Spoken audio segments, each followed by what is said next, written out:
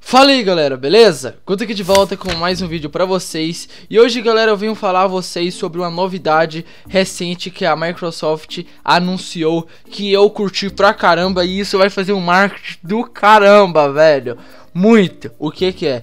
A Microsoft anunciou um HD de 2TB pro Xbox One Cara, faz pouco tempo que eles anunciaram HD pro Xbox One em 1TB.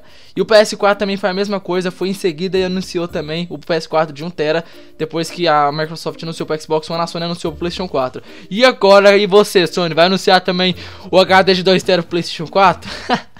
Ai, ai, como é foda esses negócios de, de empresa uma competir com a outra, cara. Sempre quer tentar fazer o melhor possível. Pois é, anunciaram o HD de 2TB pro Xbox One. Olha só, vou ler um pouquinho da notícia aqui, ó. O Xbox One acabou agora de apresentar uma interface com uma nova opção para todos os que começaram a se sentir que 500 GB nessa geração de console começa começou muito pouco e realmente é muito pouco mesmo. Você vê que esses jogos em mídia digital, para muitos que consumem jogos em mídia digital para armazenar no HD, cara, são 50 GB. O menor que tem é 25 GB, cara. Um jogo assim, tipo GTA V, um jogo tipo Assassin's Creed, é, entre 40 GB, 50 GB ou mais do que isso. E 500 GB não dá pra nada praticamente. Você coloca 6, 7 jogos na HD já tá lotado HD, ou nem isso, cara.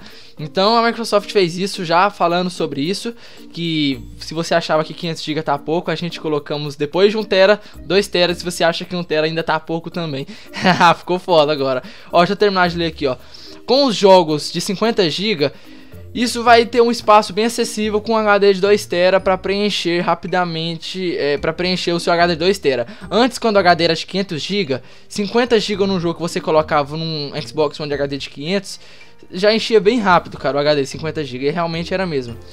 Então, galera, é, ó, é um produto oficial e licenciado pela própria Microsoft, realizado em parceria com a Seagate. Seagate é uma empresa de HDs para quem não sabe, tá? Então eles fecharam a parceria com a Seagate para criarem HD próprio para o Xbox One de 2 teras. Essa eu gostei. E aí, Sony, vai fazer também PlayStation 4, HD de 2 tera? Depois dessa aí, ó, cara, vai fazer uma vai fazer as vendas do Xbox One crescer pra caramba. Ah, detalhe, o HD de 2 tera poderá ser comprado a partir de agosto, no final desse mês de agosto já vai vai estar em vendas na Espanha, se eu não me engano, por 110 euros. O euro tá 4 reais. Quanto que isso vai sair? Meu Deus, cara, vai passar de 400 reais. Vai ser caro, mas eh, vai valer a pena, porque 2 tera vai ser um tamanho bem acessível e vai caber uma porradona de jogos, cara. É vai ser por vai sair no final desse mês de agosto por 110 euros, beleza? No final desse mês de agosto e tá aí o anúncio oficial da Microsoft HD para Xbox One de 2 tera, beleza? Então, galera, no mais era isso, eu queria falar com vocês nesse vídeo, era um vídeo um pouco mais rápido. Se gostou então para me ajudar, deixa aquele joinha bolado aí no vídeo que isso ajuda pra caramba. Compartilha o vídeo aí para ajudar na divulgação. Me siga nas redes sociais, o Instagram e o Facebook, Twitter, tá tudo aí na descrição do vídeo. O Instagram recentemente que eu criei, tá aí o link aí. Só clicarem e entrar no meu Instagram lá, ou senão vocês peguem o nome e vão lá e me seguem, beleza? Muito obrigado, fui, falou e até mais e tchau!